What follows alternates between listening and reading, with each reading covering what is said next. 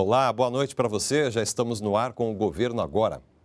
A gente volta a falar da forte chuva que atinge São Paulo desde a tarde deste domingo, causando vários estragos. O Instituto Nacional de Meteorologia registra que as precipitações em alguns pontos do estado já superaram o volume previsto para todo o mês de fevereiro. A repórter Mariana Jugman está na sede do INMET em Brasília e traz mais informações para a gente ao vivo.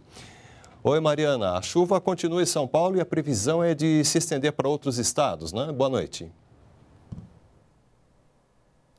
Oi, Roberto, boa noite. Pois é, a chuva é, continua fraca em São Paulo, a tendência é que ela se reduza cada vez mais, justamente porque ela está se deslocando para o Rio de Janeiro e o sul de Minas Gerais. O que a gente pode ver aqui é que essa área em vermelho no mapa indica regiões onde há nuvens de grande, com grande intensidade, que podem provocar chuvas de grande intensidade, e ainda há alerta para São Paulo, mas em razão principalmente do acumulado acumulado de chuvas, mas uh, deve chover pouco em São Paulo a partir de agora, mas a intensidade vai para o Rio de Janeiro, onde já está chovendo, e aí no sul de Minas Gerais, embora haja também muitas dessas nuvens, uh, a chuva ainda não começou, mas a tendência de hoje para amanhã é que Rio de Janeiro, sul e leste de Minas Gerais e sul do Espírito Santo tenham chuvas mais intensas. Roberta, com você. Tá certo. Obrigado, Mariana, falando ao vivo da sede do INMET em Brasília.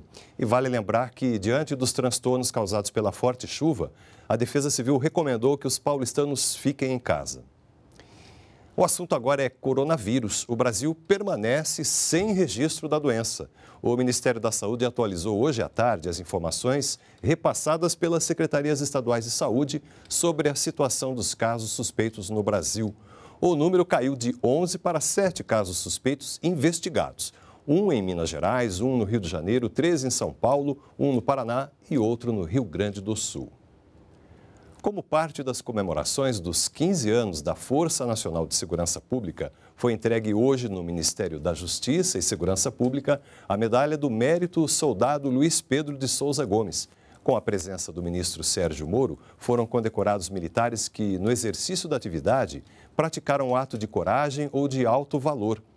Também receberam a medalha profissionais que contribuíram com o trabalho da Força Nacional de Segurança Pública.